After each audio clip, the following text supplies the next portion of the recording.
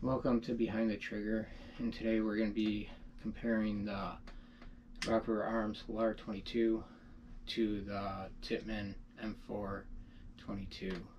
Both of them are chambered and long, uh, 22 long rifle. Both of them are ARs. Um, but just just want to show a little bit difference and show how these things operate. These are safe. They've already been checked. So let's start with the M4. I'm going to start off by removing the uppers and pairing the bolt and the receiver.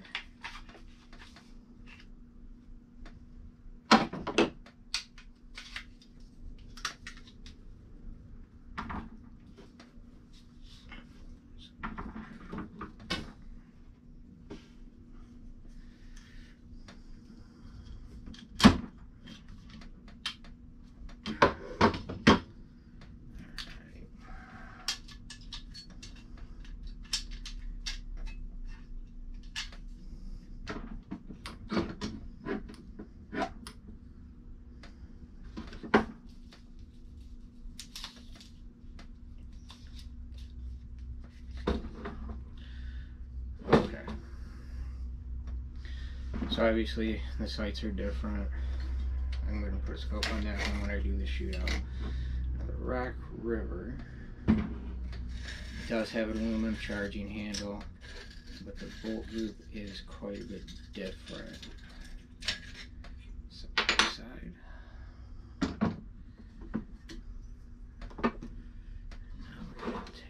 Now the rock, uh, the Tippmann, it has an aluminum charging handle really not noticeable when using it. And as you can see, it is completely different. It's got the cutout, the way it's cut it out. Now the bolt, one thing I liked about the Tippmann is that it has a bolt carrier group that utilizes a buffer tube. Um, the way this works, charging handle sits on top of it like this and pulls it back when you charge it.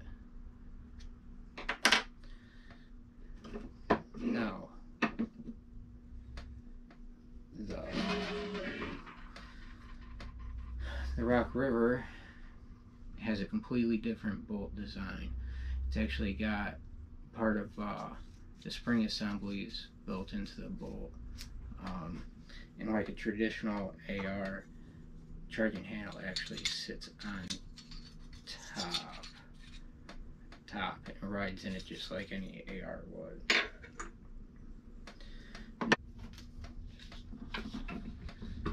Now let's compare the uppers. Aesthetically, the Tippmann looks like a mil spec. It is aluminum. It's not forged or.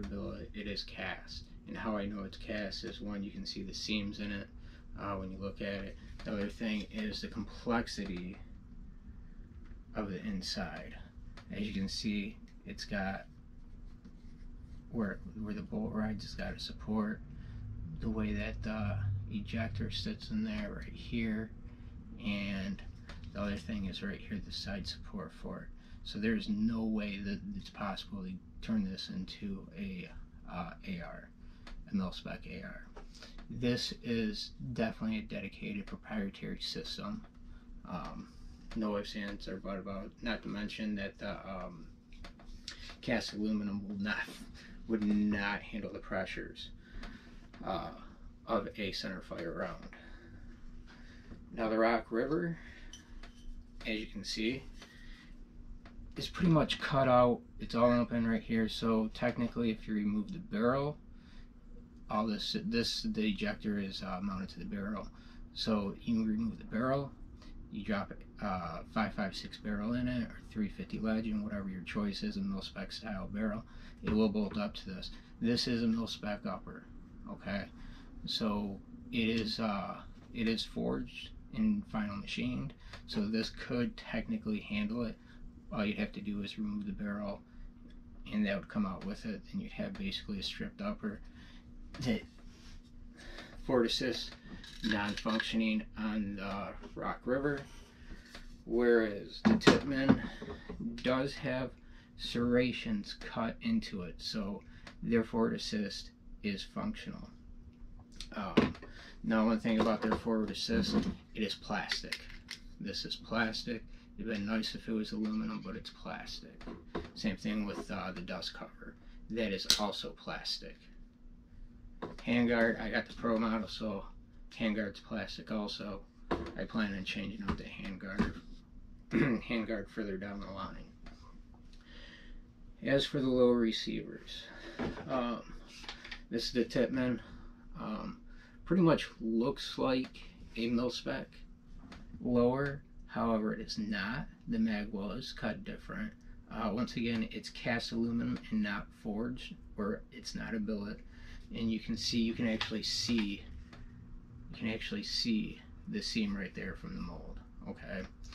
Um, still not not bad mouthing it but it is a nice little rifle so far.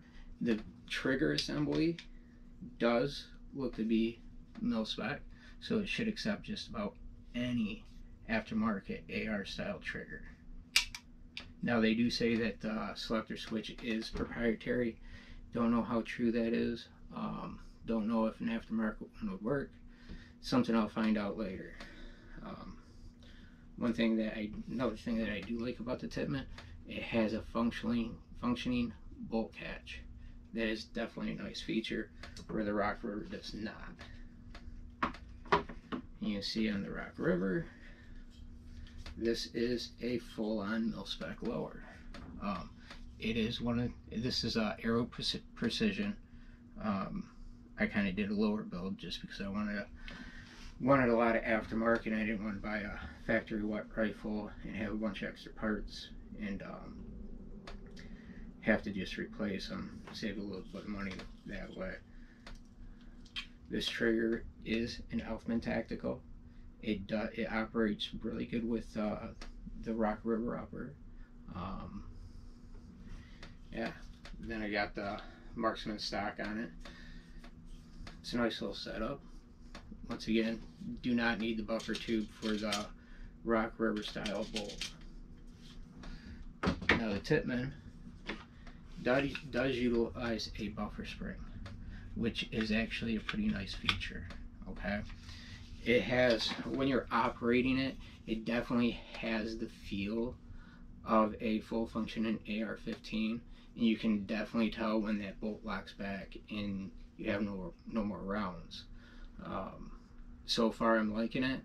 Now, tell everybody rifles or guns are purpose. Why do you have so many? It because I have ones for different purposes. If you're looking for a trainer, the Tippmann's probably not for you. And this is why. If you got a three gun uh, gun that you run a certain way, you want to get used to it, the weight and everything else, you can build a AR upper to match your 5.56, your center fire upper, okay? And still utilize the same trigger without swapping out components. All you have to do is swap out the upper. Where the Tippmann, you get it, you only have one option, and that's the upper that comes with it. No, nothing else will fit. The bolt won't, no other bolt will fit in their upper or nothing like that. So it's just a single rifle. Whereas the Rock River, you can swap it around a little bit and kind of customize a little bit more outside of just the handguard and the buttstock. Um, once again, not dogging the Tippmann. Tippmann's a really good gun so far. So far, I've had see I put about 125 rounds through it, and I've had no issues. It's ran good. It's ran really good for me. Um, I am going to do a shootout between these two rifles. Right now, I'm just waiting for a 10 round mag for the Tippmann. That way, I can shoot off the bench and do a fair comparison. Um, once again, both of them are great rifles. It all depends what you're using them for. If you just want something out, go out and plink, hey, this Tippmann's great, and I'm sure it's going to be accurate just from shooting with the uh, factory sights. Um, is it going to be as accurate as the Rock River? I'm not sure. We'll find out as soon as I get the mag in, probably next week. Both of them are great rifles. A lot of fun with the Tippmann so far. A lot of fun. The Rock River, it's more of a target gun. Um, the upper alone weighs probably about eight pounds, nine pounds. So complete rifle, it's about 10 pounds, but it also has a stainless steel heavy barrel on it, where this just has a uh, government tapered barrel on it. Um, it all depends what you're using it for. Both of them are great rifles. Um, if I had to choose, I'm definitely going to choose my Rock River Arms, just because it is the lower receiver. It utilizes a true mil spec lower receiver. That way, I know the parts are interchangeable. Uh, right now, I'm trying to tune a Franklin Armory trigger, binary trigger to it. Um, been a little too busy to mess with that since I got it back from Franklin. Uh, but yeah, I mean, they're both great rifles. I think the Tippmann is definitely a better option over the Smith & Wesson M&P 22. Um, my personal opinion. The Hammer Hammerlis, decent rifles also. However, their triggers suck. Tippmann triggers aren't bad at all for factory. It's pretty close to the Aero factory mil spec triggers. Um, one thing I do not like about the Tippmann is these magazines. They look great. They look like a PMag or a Thermold or a really good quality built AR mag. However, this little casing is irritating as shit. I wish they just do away with this and put the mag uh, retaining latch molded into the body. They're great mags. I've had no issues feeding, but this cover just aesthetically it's great, but to actually serve a function, it doesn't outside aesthetics. Um, it gets in the way actually when you're loading it. I mean, they got a nice two little pull down right here, so when you get so far down, you can pull it down, but you still, it's like to get those last three or four rounds in, it's a pain because this actually goes all the way down to the bottom of the body, whereas this mag cover prevents you from really utilizing that extra. So to comfortably load 25, you got to remove this, and it's just it makes no sense. Once again, aesthetically, yeah, I get it but they need to come up with another more uh, more practical design than this magazine.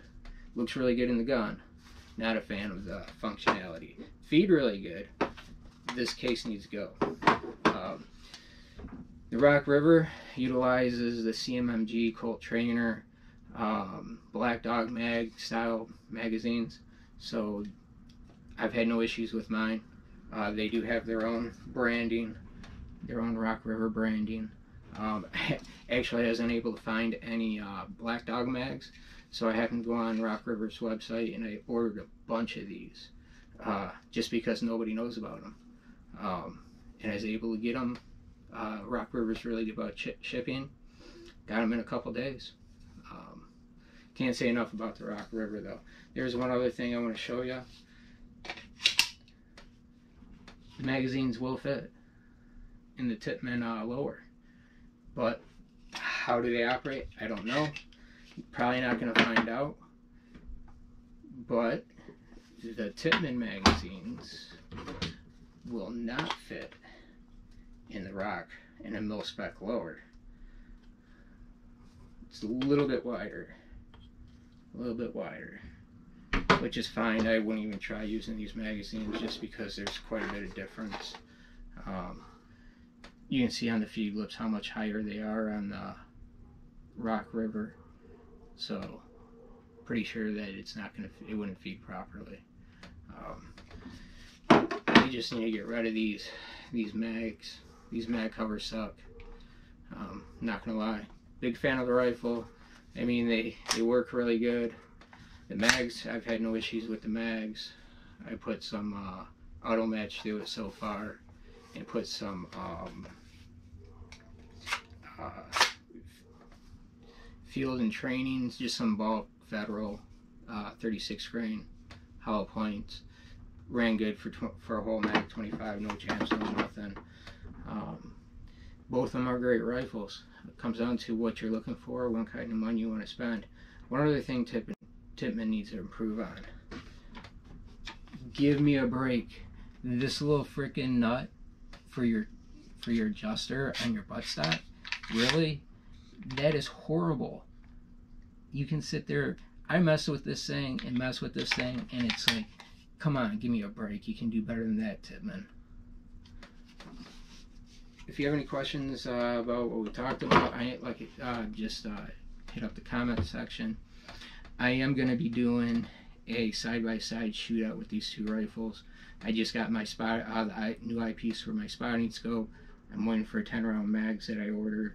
Uh, as soon as I get those uh, mags, gonna get out to the range and uh, do a little shootout.